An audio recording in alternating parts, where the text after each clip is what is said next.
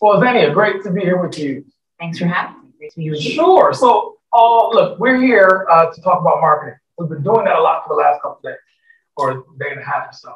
Uh, so I'd like to start this by talking a bit about the person, because I think far too often we dive into the tactics and strategies and don't maybe spend as much time understanding maybe the people involved. So I'll share a bit about you, and then I'd like you to share what I haven't that might be relevant for the group. So if you don't know, Azania uh, has her undergrad from Stanford University.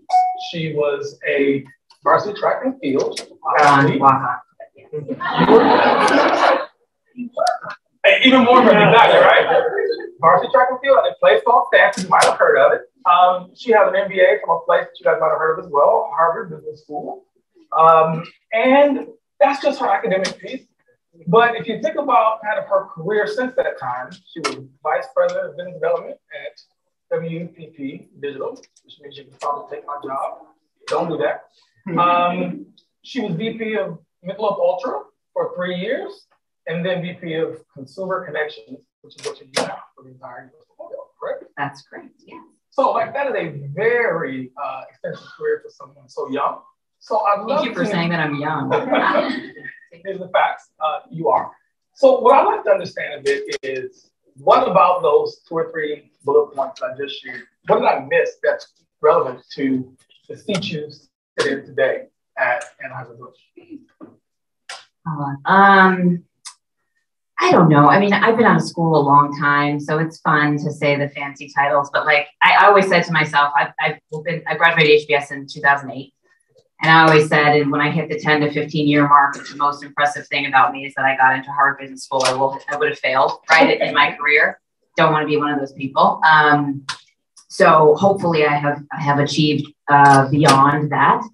Um, and I don't know, my my career and my choices are, I, I think, two things. I am hyper curious, and so I have always selected roles and experiences that allowed me to grow and learn and do new things.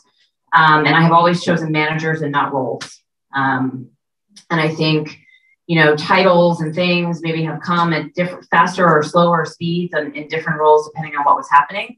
Um, but I always have chosen people who I felt inspired by, who I felt were committed to developing and, and building strong talent, um, and who had ambitions of their own. If you have a boss who's peaked, where are you going? Ooh, right? Um, and so just really thinking about um, you know, where where to go and, and how to get there.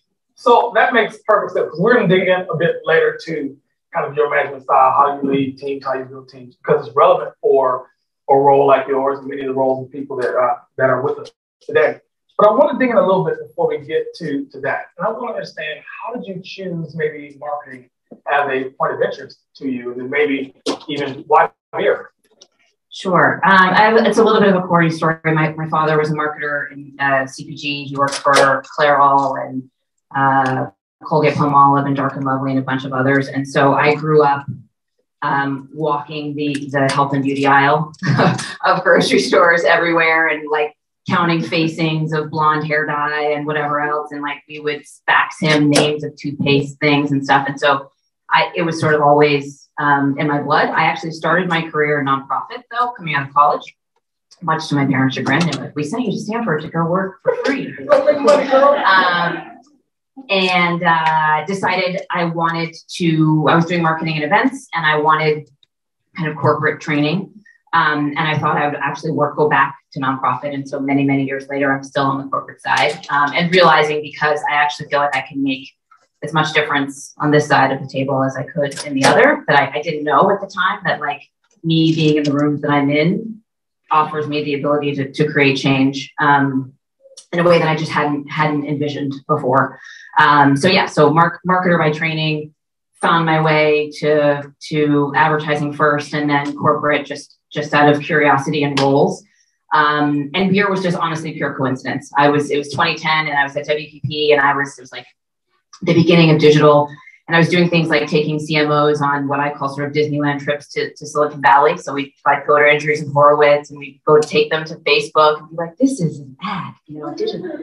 Um, and I was frustrated by being able to, at, at advising, but not being responsible. And so I got a call from a recruiter on just the right day about, about a role at, at AB. um, and had the scariest interview of my life with with the person who ended up hiring me. Um, and so now, nine years later, here I am. Oh, now I gotta know. Talk about curiosity. What made it scary? They're just very. If you know people from maybe you've met a bunch of my team today who are who are. I think we're my group's pretty chill, but but in general, I think we have a reputation at AB of being sort of like aggressive, assertive people, and so it was just this very assertive. And he did the one of those like management consulting, like how many televisions are there in, in, the US right now. And I was like, I just want to help you make Budweiser cool and digital. Okay? Uh, um, so it was, it was, intense, but it, it, worked out. Well, how many TVs are there? Uh, no, I don't know. A long time ago. A lot. A lot. Okay. Good answer. A third less than COVID time, pre-COVID time. right. Uh, thanks to Uber and some other things. So you um, you talked about kind of how you got to marketing, and you talked about how um, kind of what inspired you but you've been really, really successful at it. This may have seemed to be a bit happenstance, but in fact, you've had tremendous success. And I just want to share a little bit of that. So when you led Michelob Ultra, it was the fastest growing beer brand, uh, beer brand in the US at that time. In 2019, you were on Ad Age's list of women to watch, as well as Sports Business Journal's most influential drivers. Um, and that's just like a snippet. There's a few others that are relevant, which is you launched Michelob Ultra Pure Gold, and it was the most successful innovation in the company's history. Um, you won some Cannes Lions and 13 pencils at the one show. So, like all of that brain power applied to beer has led to tremendous success. What's the secret? Luck and hard work and um, I don't know commitment commitment to ideas. I feel. I mean, I'm at AB. We're so lucky, right? Like I've made um, before I switched to my current role, six Super Bowl commercials. Like, who gets to say that in life, right? It's it's incredible. Um, and so to be a part of working with you know the best of the best creative talent and the, having the resources to make the things that those creative talent recommend, um, and and you know having the incredible partners. You know, we're here for Super Bowl, like the incredible sports relationships that we have. Um, it's really just been about you know the ability to kind of hone in on on the things that we have access to and really push and fight for, for ideas that we believe in. I've made some really weird, not great things too. Um, and just being okay with that and, and learning from, you know, learning from all those experiences. And I feel I'm super grateful for, for the recognition um, that I've received, but it's, I'm, I'm a representative of a team and a much larger institution that's, that's helped in all those places. Well, it's interesting you, you mentioned uh, that because, like, when you think about the team, you all involve yourselves in lots of them. Um, I think your title, of course, is Consumer Connections, which is a big, broad title. But when you understand the specifics, it's even bigger than that. There's 200 or so partnerships that you all have in the space. Talking about that, that's a tremendous. What's your approach like navigating a space that large? Yeah, so um, I have the great privilege. I lead a team of about 50 people um, and we are responsible for paid media across all channels in the United States, our sports partnership, so athlete, team, and lead. You heard from my guys on my team, Joe and Matt, earlier today. Um, entertainment marketing, so anytime you see someone holding a Bud or Bud Light in television or film, um, and then the experiential activation of, of all of those. So for things that we sponsor or things that we platforms that we create ourselves. Um, and it's incredible. So yes, there are 200 is, is just sort of the sports world, and it gets even bigger when you think about venues and, and other things. Um, and we're organized this way because it's really about um, bringing together all of the places that our brands could touch and engage consumers in the real and virtual world. Um, and I say to my team, right, our, our mantra is sort of synergy, not silos. So you know you could do we could do a great media campaign right? But it's that much stronger because matt and his team have brought their expertise and understanding of our sports relationships and our sports partnerships to make that media buy that much stronger. And then we can activate experientially because everybody sort of knows what everybody's doing and and it's connected um, and the objective is to get more out of out of our relationships by having by having things um, connected, and also recognizing right that that because of mobile and digital, all things that are happening, a consumer is not thinking about you know, ooh, I saw Michelob Ultra in a bar and it stood for this, and I was at a television commercial and I saw this. Their expectation is that we deliver a connected and unified experience wherever and however they interact with us. And so we're organized in such a way to try to deliver to try to deliver on that. And it, you know, works better and worse in certain moments and times, but that's the that's the intention. Yeah, I mean, it's brilliant to be cognizant enough to know that these things exist kind of independent activities, but if there's not a tie that binds, it'll be totally disjointed.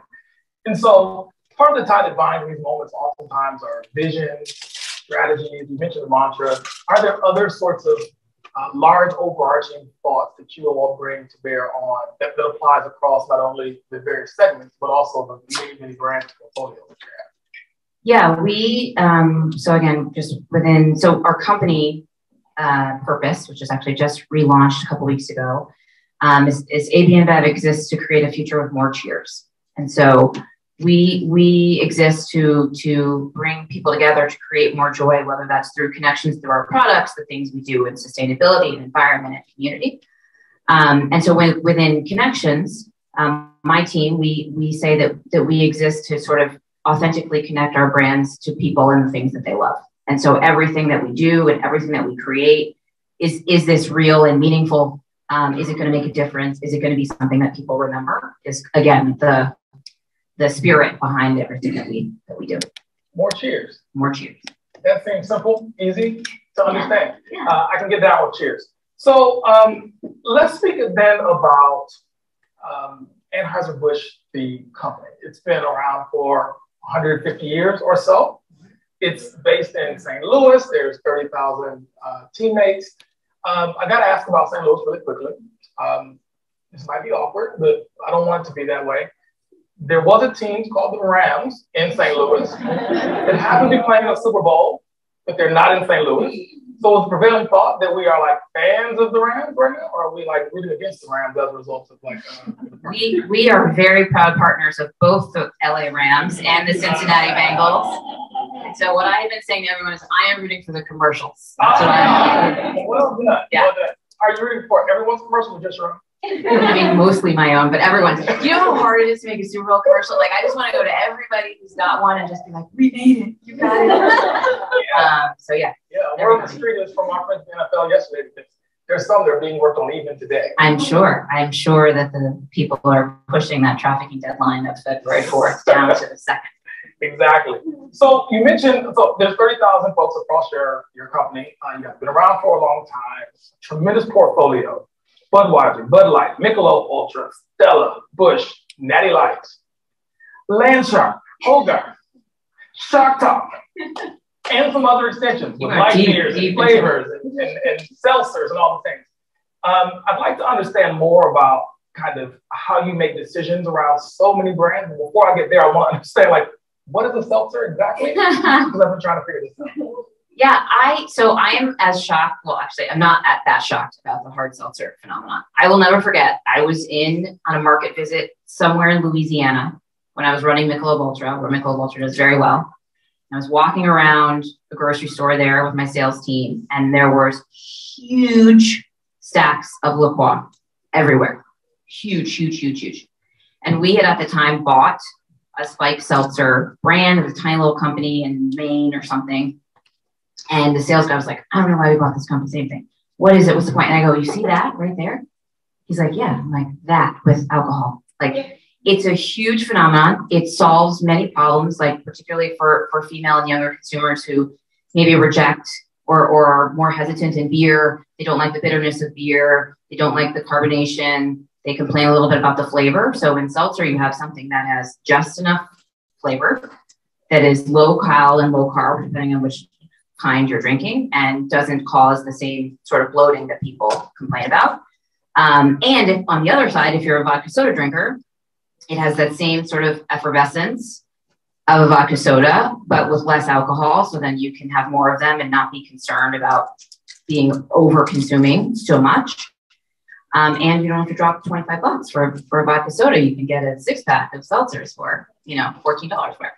Um, so I, so I think it solves a lot of pain points for people um, in beer. And I think that's why we've seen the kind of explosion that we've seen over the, over the past couple of years. Yeah, it's been remarkable. Like yeah, over the last few years, everywhere, everywhere you go, everyone has got one. It's like yeah. the thing to do. Yeah. The other thing that people like have exploded on recently seems to be these Cocktails in a can. Yes. Tell your boy about that. cocktails in a can. Uh, like- with respect to my Diageo friends who are who are um, who are in the room, I think um, we also have a, a canned cocktail um, brand called Cutwater. Um, it is based comes from San Diego uh, th- that we acquired a couple years ago, and they are delicious, award-winning cocktails in a can. And it's this idea of just sort of the simplicity. You don't have to have mixers and bottles and extra things.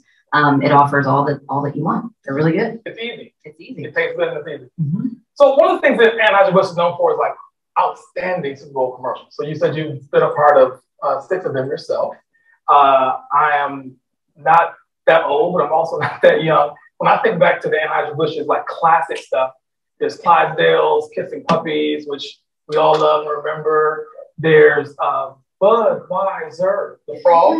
Like, and my favorite of all time might be Whassup. You like? You're supposed to respond. Um, just watching the game, having a bud. That was like 20 years ago. Love that stuff. You have new hotness dropping this week. Um, are you willing to show us a couple of those? I think we have a couple.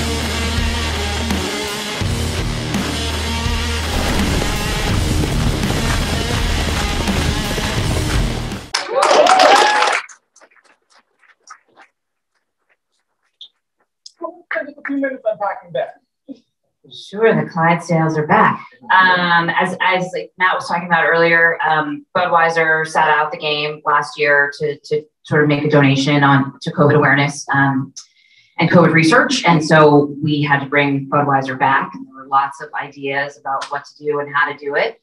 Um, and then you know the the brand team and the agency brought this this great story. I think you know Budweiser stands for sort of American resilience and and never giving up. And so just you know a clean, feel good story um, that I think people will be will be excited about. seeing. Yeah, I mean, it's nothing like you know a broken leg or injury and then having a, a puppy help you out. Um, that says teamwork. Like big animals, small animals. I mean, we're all friends here. So um, it was really good stuff. I really, I told you, I harken back to the puppies and the horses. Um, well, let's go a different direction. There's another one we want to show. Uh, can we cue up another? Whenever you crack open a Busch light, the mountain starts singing.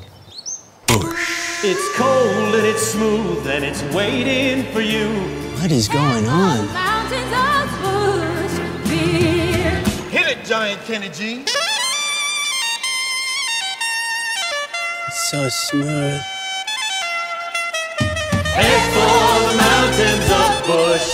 Light Beer. Like, admittedly, as an agency guy, I'm not supposed to laugh at anybody else's work. That's part of my contract. But that was funny. Very nicely done. Um, tell us about that. Well, I think uh, two things. So I think one in Super Bowl, you kind of got to swing for the edges emotion wise, right? Everybody's bringing their A game, and so I think to stand out to to make people feel something, right? Whether it's a more intense feeling like the Budweiser or more lighthearted feeling like this one.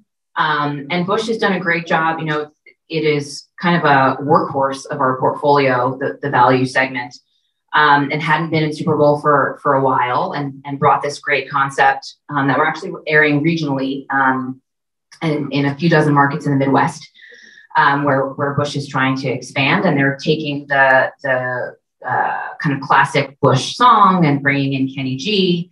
Um, but it's something I think is really interesting is that I think most people, when you think about a value brand like Busch, like we sponsor NASCAR and like deep sea fishing and stuff you wouldn't that's like a pretty multicultural commercial for what you might expect for, from Busch light which i think is amazing and i think um, reflects part of a big part of what we are trying to do as a portfolio is speak much more um, assertively and intentionally to the broader base of consumers um, that exist to consume our products, but then also um, are, are, relevant targets for, for what we're doing. There are lots of um, rural NASCAR loving Black and Hispanic Americans um, that deserve to be reflected uh, in, in content. And so I'm super proud of the brand. I had nothing to do with the making of this. Um, but I'm, I'm super proud of them for for bringing that. Well, it's funny you mention that because like um, outside of noticing Kenny G, the super giant one, uh, which who doesn't know Kenny G? We all do. I did notice that exact fact. My first thought was like, huh, black people in Busch Light. I'm not sure I've always put those two together. Uh, even, so, even in Budweiser, right? The vet is yes. an older black woman. Yes. Like when you see older women in commercials, much less an older woman of color. So like we got a long ways to go, but we're, we're trying. I'm, I'm really proud actually of, of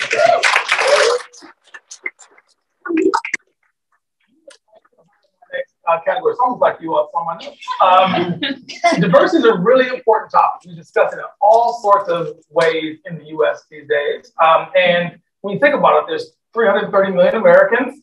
70% of them are of drinking age, as it turns out. 40% of them are people of color, and 51% are women. So as you are thinking about Busch Light or Cool Hot Seltzer or whatever the other pieces might be, how does diversity play into your thinking? How do you think about the strategy around uh, targeting markets or not targeting certain markets? How do you get your mind around diversity in the context of yeah, many, many beer brands and many segments? Yeah, I think I think first and foremost, um, so it's really important to me personally that we do things because it's the right thing to do for the business as well as the right thing to do for the world. Like the last thing anybody wants to be is a token, whatever. I do not want to be anybody's token, anything, right?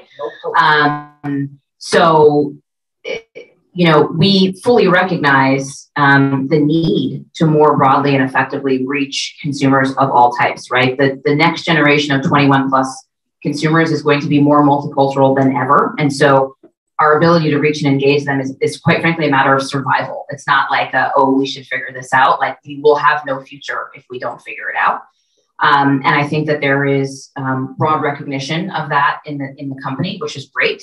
And so efforts on our part um, to make a difference, to, to try to think differently about how we are building content. We are also trying to use our weight and heft um, as an advertiser to try to make broader change in the industry. So, for example, I believe that last year there were, I think, 87 Super Bowl commercials, of which three were directed by women. This year, of our six, three are directed by women. So, my I pray, right?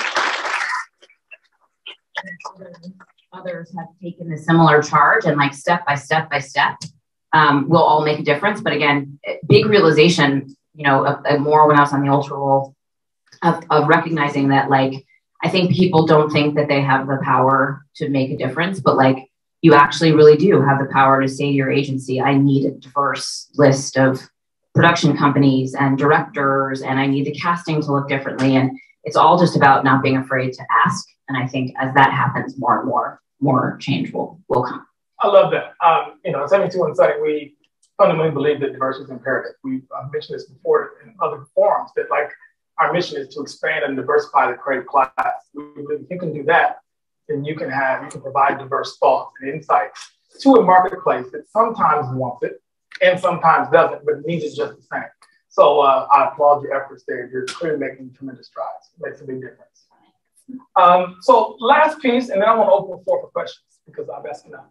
Um, what one piece of advice would you offer a modern marketer? Maybe someone who was you two years ago or someone who's you today who's trying to figure out what to do going forward. What advice would you give? Um, I think it's I think it's the same thing I said at the beginning, which is which is just to be curious. I think that the world is changing constantly all the time, and I think the the more you start to get set in your ways, like I know this and I know how to do this, is like the beginning of the end, right? And so just to stay um, open to, to new ideas and new things and, and new ways of, of learning and to look outside um, of the bubble that is marketing and advertising and look for inspiration in, in other places and spaces. Outstanding. Well, I have one more question, um, but the audience may have some. Yes, absolutely. I'll totally take one. So I will run over here, Councilor Kennedy Fields. Thank you for having questions. Super awkward. I'm going to practice everybody. Uh, of the six um, Super Bowl commercials that you've been involved in, what's your favorite? My favorite one uh, is one that we did with Zoe Kravitz and um, from Michelob Ultra Pure Gold, where we we used ASMR, and I got to have her do ASMR on a mountainside in Hawaii. It was incredible. Thank you. So uh, first and foremost, just want to acknowledge uh, something Damien said yesterday, um, especially this being Black History Month, uh, really taking the time to acknowledge the contributions of Black creators, marketers. Um, as a young marketer myself, I, I once sat in a room like this and saw myself represented up on the stage. And it's something that even though the rest of the room looked nothing like us, it made me say, I can get there one day. So I want to acknowledge the importance of even just seeing you guys up here and give these insights. Uh, it's really meaningful, even though that's lost at the moment. Uh, my question. My question is similar to the other one. Six Super Bowl commercials is a lot of commercials. Uh, I'm curious as to throughout that process, what you've learned to iterate and make the processes better, what you've learned from each one to say, hey, next time we're going to do it better, whether that's working with creative partners, putting in processes that mitigate issues that you saw from previous ones, just interested in your learnings. Yeah, I think um, for me, I think that the biggest thing that you need to get great work is trust between the client and agency. And it seems something something so obvious, but at my first time out, I didn't I didn't fully appreciate it. I think that um, you know, it's the kind of work where there's a lot of people with a lot of opinions pulling one way or the other. And I think you have to really have that, like, you and your creative director, or creative team are sort of in it, and you're willing to fight for them for the things that they believe are really critical to the story. And, and then through that comes their, their flexibility on things that maybe need to tweak. You know, I need the pour shot to be longer than one second, guys, or I need the, you know, whatever um, I, I, think that that that's something that I that I learned along the way. And like when there when there really is a real gelling between the team, I think that that's sort of when the magic um, can kind of happen. Um, and then sometimes too to not to like there are some things that I that I fell in love with that I knew were going to be weird and probably too hard to execute, but like we love them so much, we made them anyway, and they came out weird and too hard to execute. Um, and so, like, how do you, you know, how do you gauge when to, um, like uh, you know not not sort of fall too much in love with something that you lose the the vision and kind of the business objective of what you're what you're trying to create Wonderful. Well, that's fantastic advice. And I think uh, it's safe to say with six Super Bowl commercials, you're like the Tom Brady um, commercials. You're almost there, you know? I need more, more rings, more rings. Yeah, you're almost there. We'll keep going. So let's thank these guys for, for sharing.